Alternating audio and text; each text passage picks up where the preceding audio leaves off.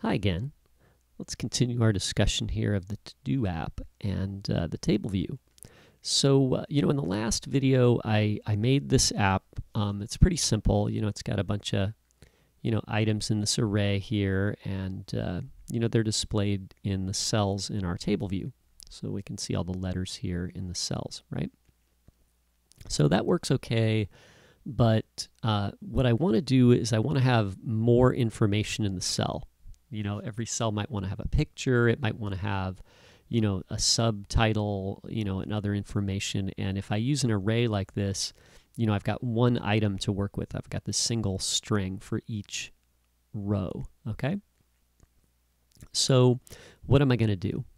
Well, probably the best thing for us is to make each to-do item its own class and then we can assign you know properties to that class and then we can you know the properties can be displayed down here in various ways. And then it also allows us to extend the class or you know build on that class later right? We can add other features to it in an easy in an easy way right? So how are we going to make that happen?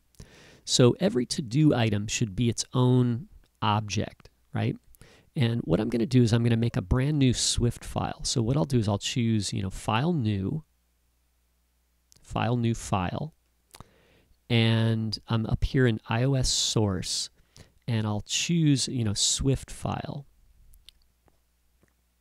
Okay, and I'm going to name this file to do item. Okay, and that'll be a, you know, it'll be a to do item class. Okay, so I'll choose to do item, and I'll save it into my folder here and there it is now in my you know my workspace here. And now in the new to do item I'm going to start typing class and it'll give me the syntax for the basic Swift class okay? So I'll choose that. And then I'll name the class and this is like you know you know very common is you know the best practice here is to name the class with the name of the file. They don't actually have to match okay? But they should match otherwise it'll you're you know your your um, your organization is going to be a little bit confusing, right? So here's my to-do item class, and you know the class code needs to go between the curly brackets here, and this is the name of our class. Okay, so what I want to do is I want to add a couple variables. So maybe every to-do item has a name, and I'll just set that to a string. And then um, maybe every to-do item has a, a note. Okay, and I'll set that to a string too. So maybe this will be the, um, the title and this will be the subtitle or the right detail or detail text, right? And maybe we want to add some other features here. You know, every to-do item, item could have a date and, you know, all sort of a picture or a category or, you know, all sorts of stuff. I'm just going to add a um, completed property, which is going to be a Boolean, right? So I'll just set it to false, right? So, you know, as we add to do items, um, you know, we can mark them completed true, and then we know that we did them, or completed false, and we know that they're, they're incomplete, okay? So I'll, I'll save this and uh, make sure all those errors go away there. And it looks pretty good. Um, you know, we can add other features here later, and we will, but uh, for right now, this is pretty good. So what I want to do now is I want to add, um, I want to add, you know, to do items here instead of the string, okay? So, you know, I, I want to define an array that can contain to do items. So what I'll do is I'll, I'll get rid of all of these, these strings there and I'll type in to do item. And we have to make sure this is the uppercase T and uppercase I. It has to match the spelling of our class, right? And then what we're going to do is we're going to follow the square brackets with the parentheses like this. And this says create a new empty array that's configured to hold to-do items. okay? So, um, so there's our, our to-do item there. And um, I'm going to ignore the phone. I don't know if you can hear the phone, but it's ringing, right? And now you can see I have an error here. And it's saying like, hey, you know, you're asking for the to-do item at this index path. And this you know text property is expecting a string but you know you're really giving it an, a to do item right so we're going to reconfigure this part a little bit what i'm going to do is i'm going to say let um, and i'll use lowercase to do this time i'll just call it a to do right and what i'm going to do is i'm going to say this to do is going to be you know array bracket index path dot row Okay, so, so here I've gotten the to-do at the particular index path. And then over here, maybe I want to display the name of the to-do. So I'll type in to-do dot name. Okay, and you can see, you know, Xcode gives me the code hints for my class that I've created because it can see that class and it knows which properties it has, okay? And, you know, if we had a cell that used the detail text, um, what is it? Um, yeah, detail text label. I could say detail text label dot text equals, you know, to do dot note, right? Okay, so we could put that in there. Um, now I have a problem though because you know if I you know if I test this, I'm going to have zero to do items because we created an empty you know array up here, right? So, you know, for testing right now, why don't we go down to uh, view did load, and what we'll do is in view did load down here, we'll make a couple to do items and add them to our array. Okay. So what I'm going to do is I'm going to say, you know, var like t equals, um, you know, to do, and this is going to be uppercase to do item, right? And then I can say t dot name equals, you know, hello. And t dot note equals, you know, world. And then we'll add this to do to the array. So we'll say array dot append item t, right? So here we made a to do item. We set its properties, name and note and then we appended that to do item to the array. And the array, you know, is configured to hold to do items, so Swift says that's fine. Okay?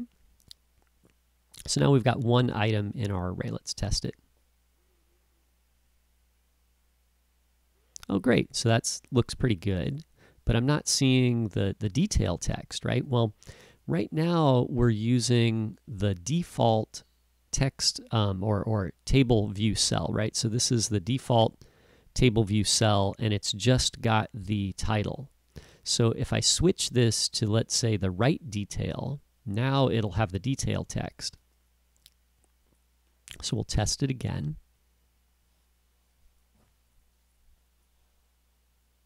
Oh, look, and there it says, you know, hello, and then world is on the right side here, okay? So that looks pretty good. Um, so we're getting somewhere there, right? And uh, it needs a little more work. Um, and uh, you know what we really want to do is we want to improve the um, the to do class because as we build these to do items, maybe we want to be able to create a new to do item and then set the name and note for it. You know, like right when we create it, right? So let's do that. Let's go over to our to do item and what I'm going to do is I'm going to add init. So init is the initializer for the class. Okay, so when we create a new instance of this class, really what we're doing is we're calling the init function. And before I didn't use the init function, so there was sort of an empty init function that, you know, was invisible, but, you know, just not in use, right? Um, so what I'm going to do is I'm going to create a init, and I'm going to give init um, I'm going to give it a name property and say colon is type string and then comma a note property colon is also type string okay? And what I want to do is I want to use this name which is this name here is a parameter variable that belongs to the init function and I want to assign it to the name property that belongs to the instance of the class right so the name property here belongs to our, our class or you know object instance, right? So what we're going to do is we're going to say self dot name, And self name is the name up here. And then we'll set it equal to name. And without the self in front of it, that's the name right here. And actually, you can see Xcode is showing me this little, you know, under dotted underline there to show me that these are really the same thing. And when I when I do this one, you can see that it's got this little dashed underline there, and then it highlights the one up here, not the one here, right? So let's say self note equals note. Okay? And there we go. Now, anytime that we call on our, um, our class here, we can initialize it with name and note. Okay, let's go back to view controller. We got one more step here. So now in here, you can see I've got an error and it's saying like, hey, you know what, you're, you're calling on to-do item, you're creating a new to-do item, but to-do item requires arguments, right? So the arguments are the, the, the, the parameters that we put here, right? These are called argument variables. So name and note are two arguments that are required by init. So let's go back here and let's say name is going to be actually here let's let's type this again. If I if I type it you can see that it gives me the correct parameters there. So I'm going to say name is you know hello and note is world like this. And then there's no need to do this part anymore. And we can just do these two lines. And actually you know if we wanted to add a second one we could even shorten it even further. We could say append and then inside here, a new element, why don't we just create the new to-do item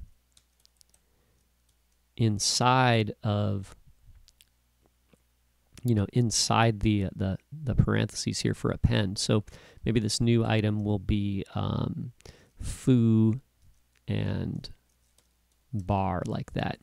Okay? So well, I'll test that again. And now we should have two to-do items. So there's hello world and foo and bar, right?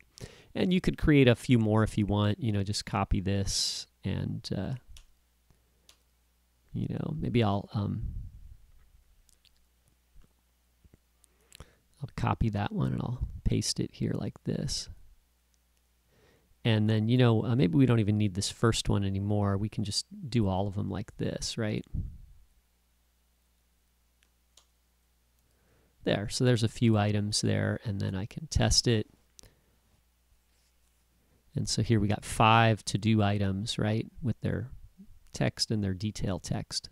Okay, so there we go. And now our to-dos are, are arranged in objects, and then anytime we want to, you know, modify the to-do, we can go over here, and this code is just specific to the to-do objects, and then this code is just specific to our, our table view. Okay.